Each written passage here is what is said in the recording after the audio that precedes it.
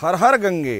वास्तव में मानव ला आज सोचना चाहिए कि वह प्रकृति के साथ कैसन खिलवाड़ करत है। लॉकडाउन के समय में हमन घर महन उद्योग बंद है। एक हर नाम से धीरे धीरे पर्यावरण जिन विध है, उमन बतावत हैं कि धीरे धीरे गंगा साफ़ होत है। अतका प्रयास करे के बाद भी गंगा साफ़ नहीं होत रही से। हवा में जिन प्रदूषण रही से, तेन धीरे धीरे ठीक हुआ थे यदि आप ला याद होई, कैसन प्रदूषण हो गई से दिल्ली में और उत्तर प्रदेश की कई जगह में बड़ा दिक्कत होत रही से, अब जिन है, आबो हवा जिन्हें साफ़ हुआ थे। ये बात ला आप सोचो कि आपन घर में हो, गंगा साफ़ हो गए, प्रदूषण मुक्त हो गए, हुआ थे सब चीज़, है। एक वजह से मैं कहा था, जब आप घर से निकलू तो ये बात की आकलन ज़रूर करू कि का हम प्रकृति के साथ खिलवाड़ तो नहीं करत हन। यदि करत हन तो हम सचेत हो जाए।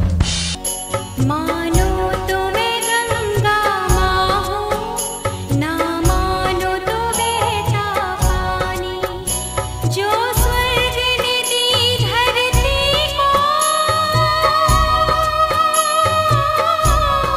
सिर्फ़ स्वराज एक्सप्रेस में।